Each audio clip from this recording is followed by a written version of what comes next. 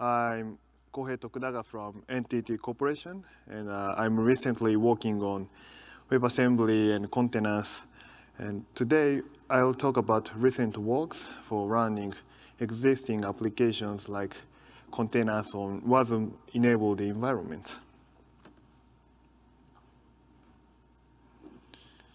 So this is a summary of this talk.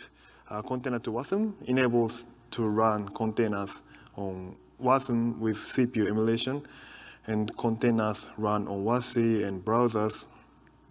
It supports container to WASM conversion, and also it supports fetching and running a modified container images on browser without conversion. And we've also experimentally added support of QEMU running on browser. Uh, we aim wider range of guest architecture support, including AArch64, and we also expect uh, performance benefits by QEMU, uh, for example, JIT compilation or utilizing of multi-core. So first of all, why porting apps to WASM? So first benefit is we can leverage well-known apps on browser. So uh, for example, for demo of applications on browser demo, dev environments, etc. And as shown in the slide, in community, there are several um, services or projects that enables users to run applications on browser easily without uh, installing applications on the host. And also WebAssembly is a portable sandbox. We can run untrusted code inside WASM VM without giving direct access to the host. And WASM ecosystem also provides uh, interesting tools that, um, that sound useful for existing applications outside browser as well, as listed in this slide. But porting apps to WASM is not easy. Um, the main reason is Linux-based apps need re-implementation to run inside WASM VM. And WASM also lacks Linux compatibility. For example, it doesn't have fork or exec support. And so here, can we make like, porting apps easier by running modified Linux applications inside WASM VM? So here, uh, container to WASM comes in. Container to WASM is a tool to run Linux-based containers inside WASM VM. The unmodified containers run on real Linux on emulated CPU. And it also supports networking for containers on browsers and WASI. And also it supports uh, map, directly mapping and here are some examples uh, on this slide uh, for running containers on WASM. First one runs container on Wasmtime, which is a WebAssembly runtime with support for WASI.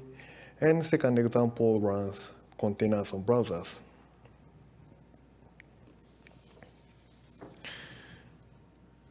So how does it work? Um, as shown in the right figure, uh, container to WASM uses CPU emulators for running containers on WASM. For x86, so, so I mean containers run on real Linux on the emulated CPU. And for x86 64 containers, Bochs emulator is used. And for RISC-V containers, TinyEmu emulator is used. And in version 0.7, recent version, we added support for using QEMU. And QEMU provides wider range of guest architecture supports. Uh, I'll talk about it later. And uh, for more details about uh, container to WASM internal, you, including dire directly mapping or networking, uh, please refer to the documents on the repo.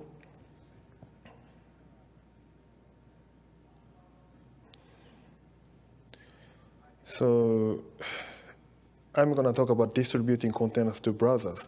So container to WASM supports two ways for distributing container images to browsers. The first option is pre-converting containers to WASM blobs. As shown in the left figure, container to WASM provides C2W command for converting a container to WASM blob. And once a container is converted to WASM blob, it can be uploaded to a server, then browsers can fetch and run them. And second option is to directly distribute OCI container images to browsers. Uh, I'll describe it, uh, this in the next slide. Container to WASM supports fetching and running container images inside browser, so conversion of container image to WASM blob is not needed. As shown in the right figure, a component called image mounter running on a web worker and it fetches and unpacks unmodified OCI or container images inside browser.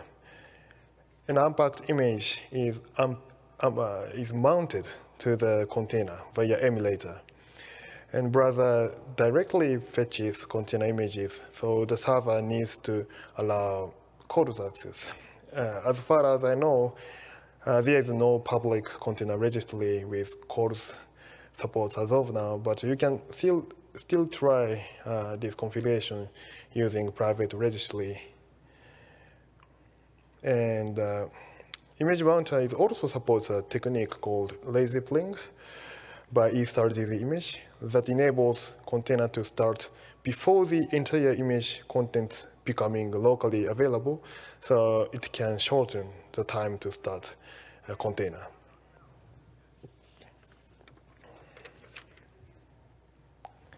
So this is a demo of fetching and running unmodified container images on browser without image conversion. Uh, you can also do this on your own machine following uh, the docs on the repo. And on my machine, I have a private registry on localhost. And there is Ubuntu 24.04 image on that registry. So to check it,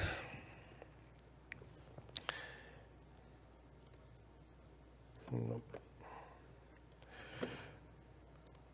First, um, I pull and run Ubuntu image on my machine natively using Docker. This is very uh,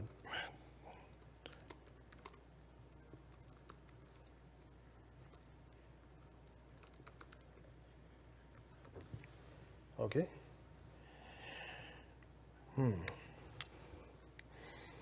All right, so then I can run Ubuntu image natively. Um,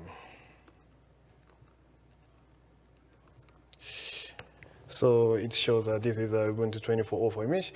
And next, I run the same Ubuntu image on browser. So um, I'm already running a server that serves image mounter, um, explained in the last slide. And when I start uh, image mounter on my browser, uh, that page fetches Ubuntu 20.04 image from the local host registry directly into the browser, then run it. So this is a, the URL. Uh, so here there is a query for um, image on the registry. So what I need to do is just copy it and uh, paste it here. So uh, so currently browser fetches and unpacks Ubuntu 20.04 image and it pulls uh, Ubuntu 24.04 image from localhost registry on my machine. And okay, so shell prompt appears and I can check. Uh, all right, so Ubuntu image running on the browser. So both of Docker and the browser pull the exactly same container image from the exactly same registry.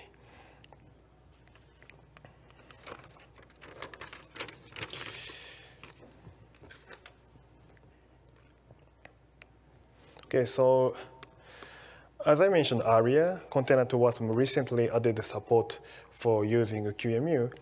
I'll talk about it in the following slides.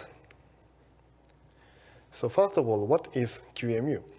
QEMU is an open source emulator by Fabrice Bellard. As shown in the right figure, uh, it emulates wide variety of CPUs, including x86, ARM, RISC-V, and also it can emulate variety of machines, including boards. And QEMU is portable. It runs on a variety of host CPUs. And QEMU also has uh, performance benefits by supporting JIT compilation of binaries and multi-core emulation utilizing of multi-core. Uh, why do we want to use QEMU from container to WASM? By using QEMU, we expect to get a wider guest architecture support, including x86 64 and AArch64, and also performance benefits of QEMU by JIT compilation and multi-core utilization are also, of course, sounds beneficial for our use cases. But we are trying to run containers on WASM environments, and QEMU uh, currently doesn't support WASM host. So how can we use QEMU for WASM host? So we've experiment, experimentally ported QEMU to browser. We called it as QEMU WASM. And uh, this is a ported version of a QEMU system emulator using Emscripten, and it runs 64-bit guests as well.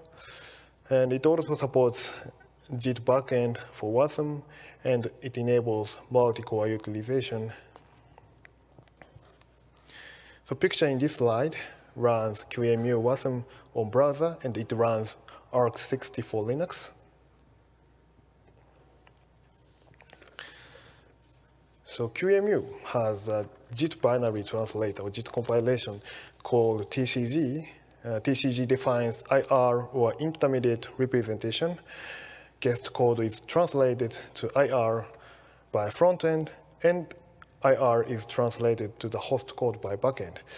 As shown in the right figure, this enables QEMU to support a variety of guest and host architectures. And TCG also supports multi-core utilization um, on the host, and this is called MTTCG or multi-threaded TCG. And to support WASM on WASM host. Uh, we've added WASM backend for TCG.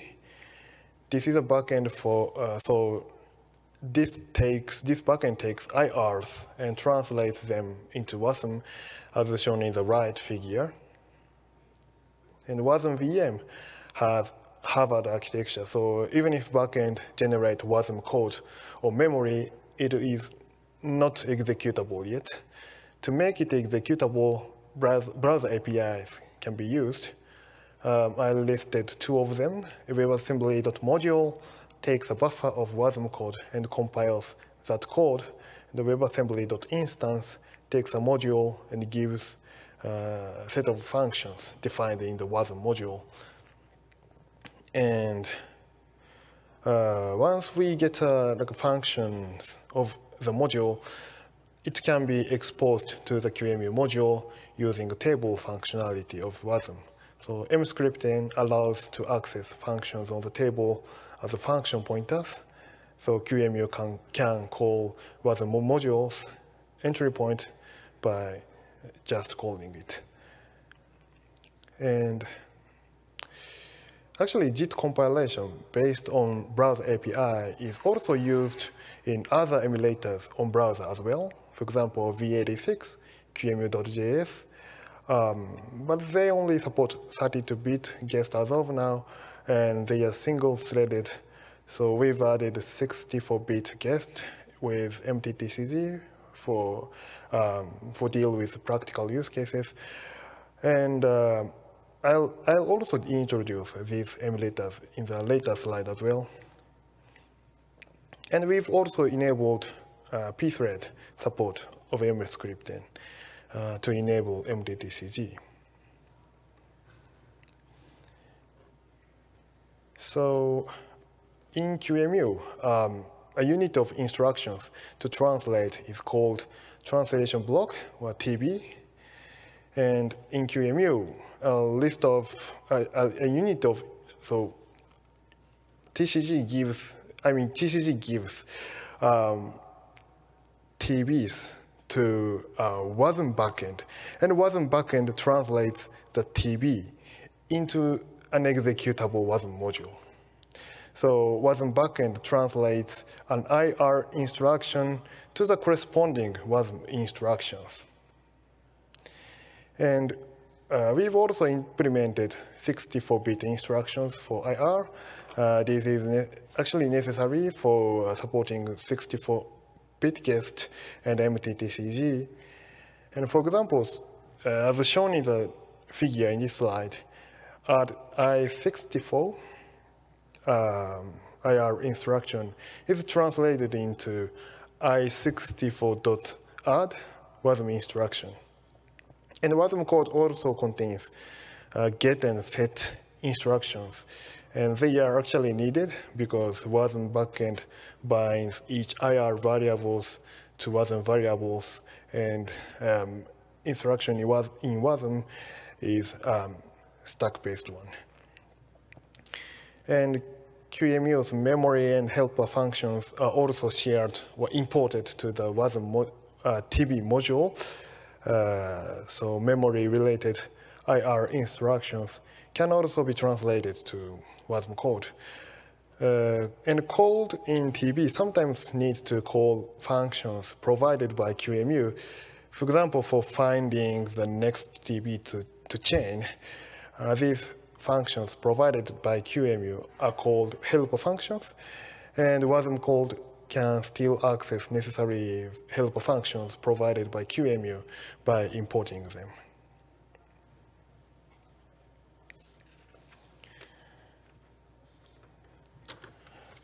However, there are several considerations um, when creating WASM modules for each TB. Uh, first one is that compilation overhead. It can't be ignored and it slows down the execution of the guest code. And the second one is that uh, browsers are not capable of creating thousands of modules. Uh, to mitigate for these considerations, QEMU WASM enables both of WASM backend and TCI.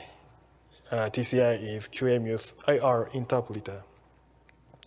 And all the TBs run on TCI by default, and TBs running uh, only only TBs running many times are considered as like a hot TB, and they are compiled to WASM.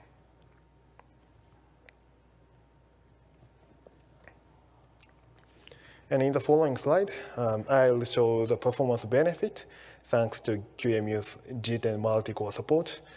Uh, this experiment measured duration to gzip compress 10 megabyte random data using PIGZ. PIGZ is a gzip implementation with multi-processor support. So benefits of multi-core support uh, can also be observed. And this uses PIGZ x86-64 binary and runs it on the emulator inside browser. And this experiment compares QEMU WASM and Bochs ported to browser with Emscripten. Uh, Bochs is a portable x86 emulator with interpreter approach, and actually Container 2 WASM uh, ported this to Emscripten as well. And uh, Container 2 WASM uses Bochs for x86 64 containers by default. So this is the duration for running PIGZ. Um, Bochs took over 40 seconds for completing the command. Uh, but the QEMU completed this command much faster. And we enabled four threads, MTTCG, so uh, and performance is improved more in this case. And uh, QEMU WASM can be experimentally used from a container to WASM. For AArch64 containers, container to WASM uses QEMU WASM by default with dash dash to dash j flag. And uh, x86 64 containers can also use QEMU WASM with uh, additional flags. And please note that uh, this is still in an early stage and experimental feature, and there are some several limitations, including networking is not enabled as of now, and pre-initialization, like Wizer, is not enabled. So it means um, every time starting a container, it takes long time to start for fully booting the Linux kernel and uh, VM, uh, I mean cold start. So next is the demo of uh, running AArch64 container inside browser. All right.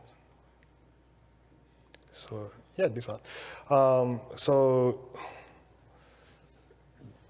in this browser, QEMU WASM uh, is running another emulator, and this runs Alpine container AArch64, and shell prompt appears um, here and uh, using a uname command. You can, you can confirm that this is an AArch64 environment, and uh, OS release shows uh, this is Alpine container, Alpine OS. And you can also see the root file system uh, located at slash. So,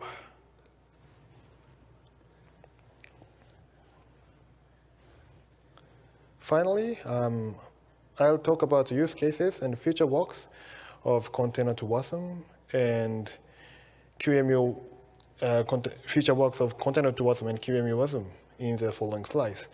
And running container on browser is a very generic functionality, so I believe this can be used for a variety of use cases, including VS Code or extension for running containers inside the browser.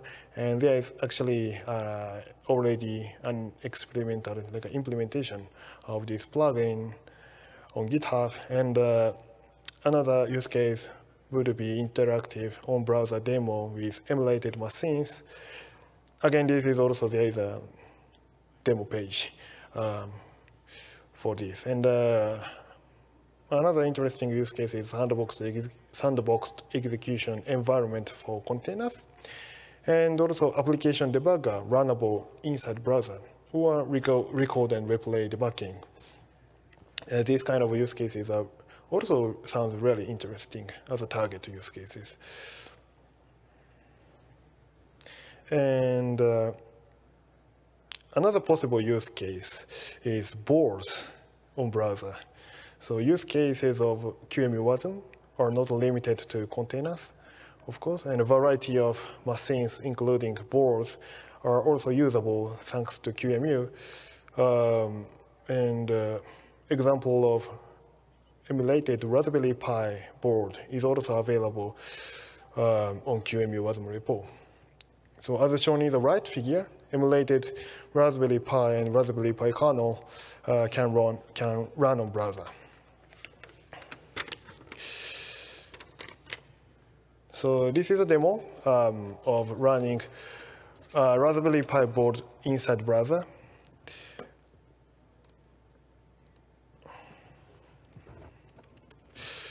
So again, QEMU WASM. QEMU WASM is used as the emulator, and this runs BusyBox in the Raspberry Pi board emulated on browser.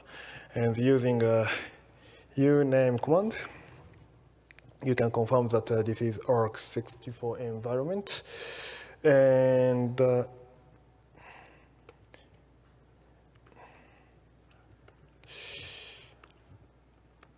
And from CPU info, you can confirm that uh, this is a Raspberry Pi environment.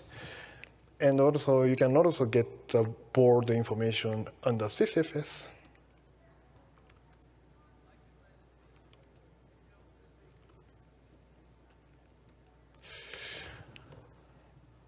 So it shows uh, this is a Raspberry Pi environment. And of course, you can see the root file system at slash. So container to WASM and QEMU WASM are still in an early stage of development.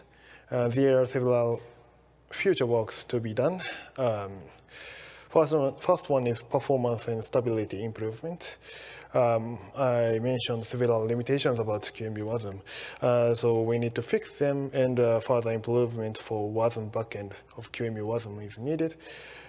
And integration with AOT approach sounds also interesting. Uh, there is already an AOT compiler called elfconv uh, that is for Linux AArch64 ELF to WASM AOT translator by my colleague Masashi Yoshimura. And uh, another future work is uh, integration with more QEMU features. For example, enabling more guest CPUs, machines, networking, graphics.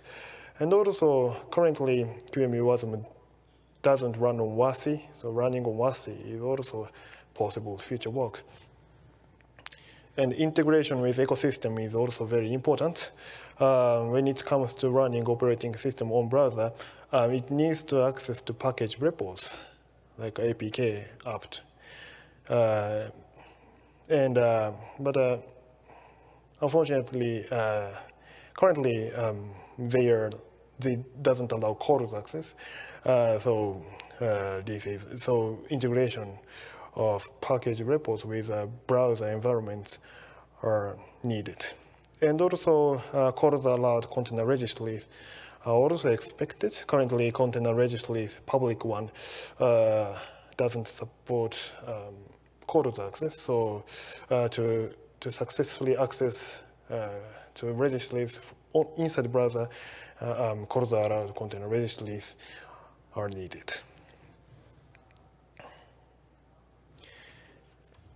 And uh, to encourage discussion around this topic, um, I'm proposing Container to WASM as a sandbox project to CNCF.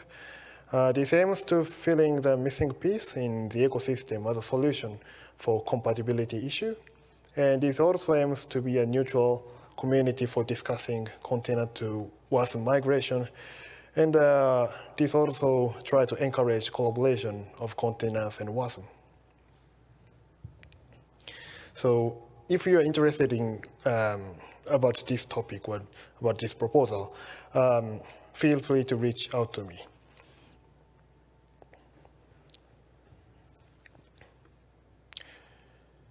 And in community, uh, there are several works similar to this project, as I mentioned in the previous slides.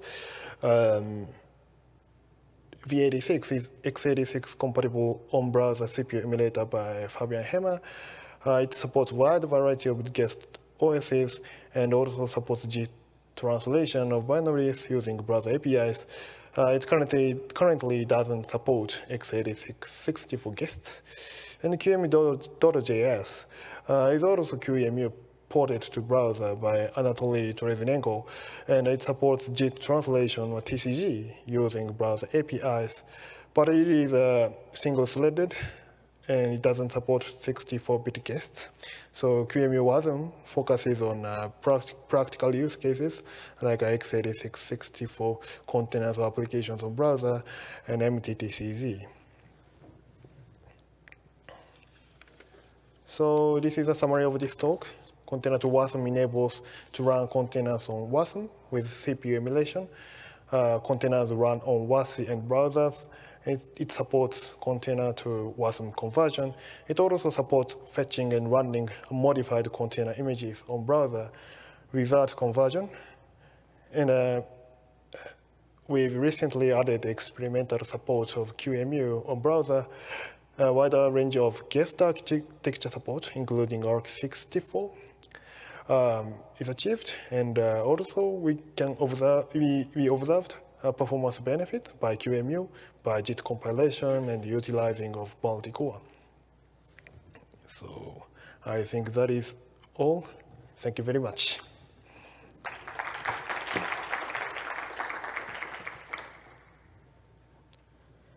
So I think five minutes left. Do you have any question? Uh, yes, please. Thank you. Sorry, yes, if you don't mind waiting for the microphone.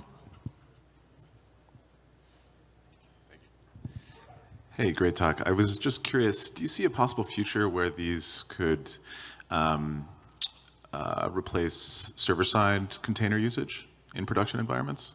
Ah, so the question of um, um, like uh, replacing server-side container usage with this uh, with, with this technique.